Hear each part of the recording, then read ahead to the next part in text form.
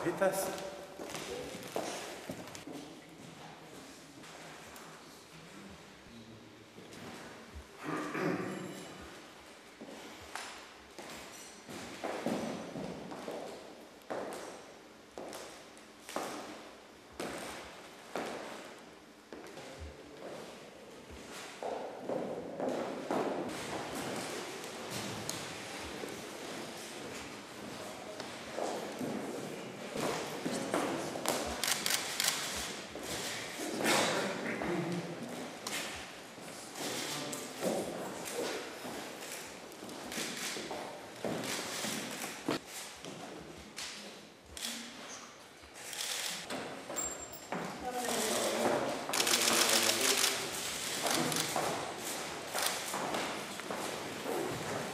su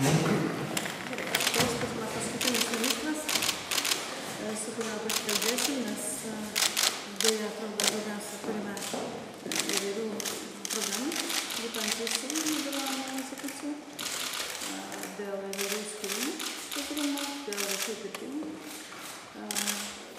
ir dėl kurių kitų projektų, kur matėme, kad atskiri komisija turėjo per daug turbūt galių, per daug savarankiškumo ir jūs e, neparodėte tos lyderystės ir atsakomybės, kurią aš noriu pamatyti iš ministro.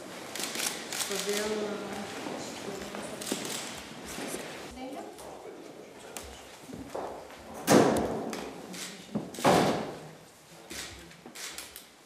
su Žemės ūkio ministru Vigilijum Vigna, su kuriuo aptarė jo, jo vadovaujamos ministerijos veiklą, žemės ūkio politikos tikslus, prioritetus, ES paramos žemės ūkiui paskirstimą.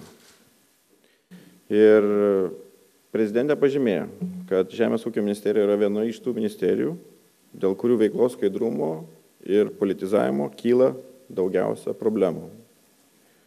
Viešoje erdvėje reiškimas abejonės dėl galimai neskaidriai skirstumos ES paramos ir žvejybos kvotų, nesažinimų konkursų į ministerijai pavaldžių įmonių vadovų postus, su politikai susijusių įmonių protegavimo.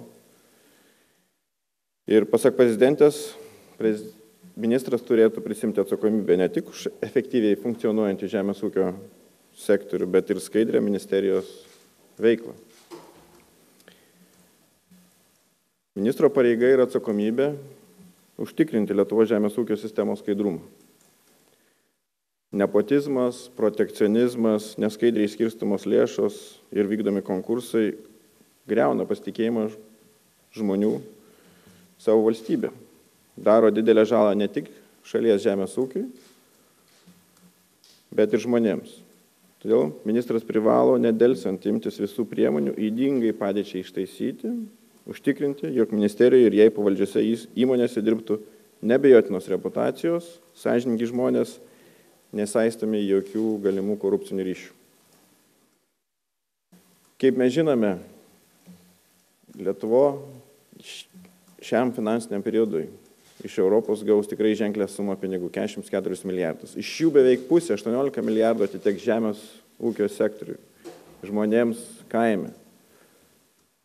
Ir turime paklausti, ar tie žmonės realiai pajus šitų pinigų naudą.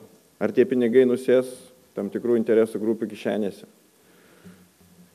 Tai prezidentės nuomonė, šie pinigai turi duoti postumį, turi tikrai realiai pagerinti žmonių gyvenimą. Ir tam tų pinigų skirstimo mechanizmas turi nekelti jokių abejonių. Kriterijai turi būti aiškus, skaidrus, depolitizuoti ir užtikrintų tų pinigų geriausią panaudojimą. Taip pat prezidentė pabrėžė, jog Lietuvos teismų neteisėta pripažinta žvybos kvotų Baltijos jūroje skirstimo praktika, kurios metu prategojama viena įmonė, prieštarauja valstybės interesams ir privalo būti kuo greičiau sustabdyta. Taigi, apibendrinant galima sakyti, žemės ūkio sektorius yra labai svarbus, daug žmonių ten dirba, ten gyvena. Stengiantis pagerinti jų būti ir gyvenimo kokybę ir perspektyvas yra skiriamos didelės valstybės ir ES lėšos. Ir tam, kad jos atneštų didžiausią naudą, tai yra ministerijos atsakomybė užtikrinti skaidrę tų pinigų panaudojimo tvarką. Tai tiek trumpai.